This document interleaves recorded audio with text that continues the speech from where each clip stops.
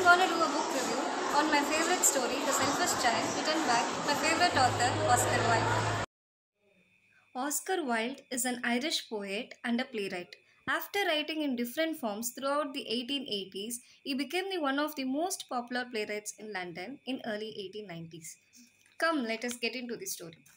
Once there lived a giant, and he had a beautiful garden. But he had not been in that garden for a while. Every afternoon, after school get over, some children went to play in that garden through a big hole on the wall of a garden.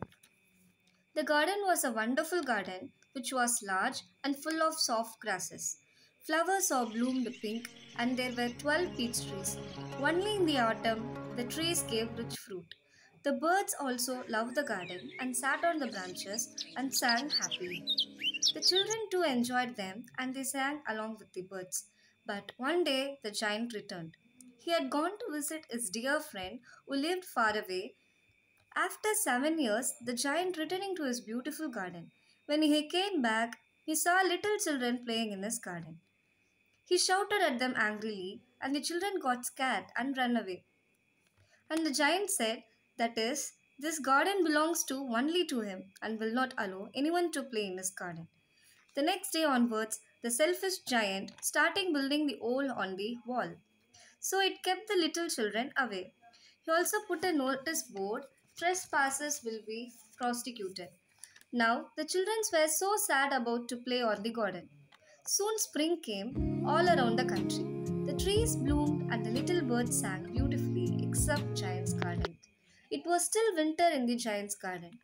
The birds did not come, grasses started dying, and the flowers did not bloom. Now the season became snow and frost. The snow covered grass with white blanket, and frost painted silver on all the trees. The giant started thinking why spring has not come to his garden by sitting a window every day. He felt sorry for his garden and he prayed to change the weather soon. The snow frost, everything came except autumn, only in Giant's garden. One morning, Giant was still on his bed. He heard a beautiful melody. He thought it was King's musician, but it was a linnet. Hail stopped, snow frost were gone. The giant suddenly felt the flowers blooming. Spring has finally came, he excited. Outside his window, he saw his the garden was alive again as the children were jumping into this garden. Giant ran out into his garden. Every children's cat and ran away when they saw the giant, except one. It was a little boy. He was trying to climb up a tree which was on the farthest corner of the garden. On seeing this, Giant walked up to the child. The child did not see the giant as he was crying. The giant helped the little child to climb up on the tree. Suddenly, the trees blossomed.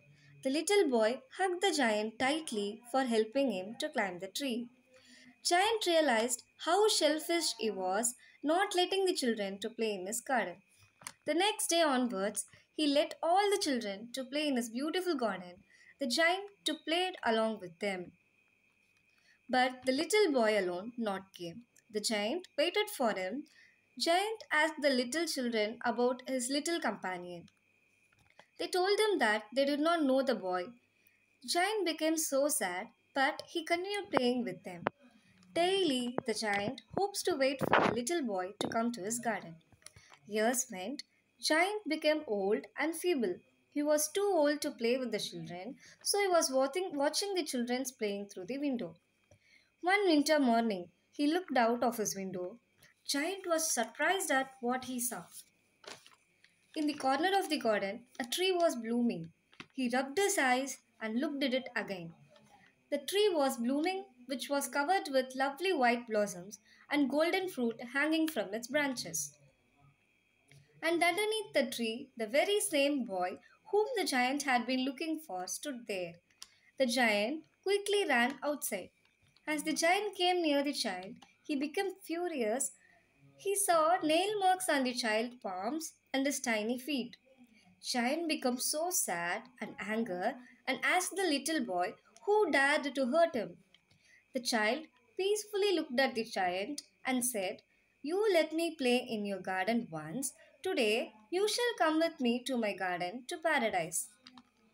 That afternoon, when children came running into the giant's garden, they found that the giant was lying underneath the tree. The giant was dead, with a peaceful smile on his face, covered with beautiful blossoms. Moral of the selfish giant story is happiness through true love and selfishlessness. Hope you could enjoy the story. Thank you for the opportunity.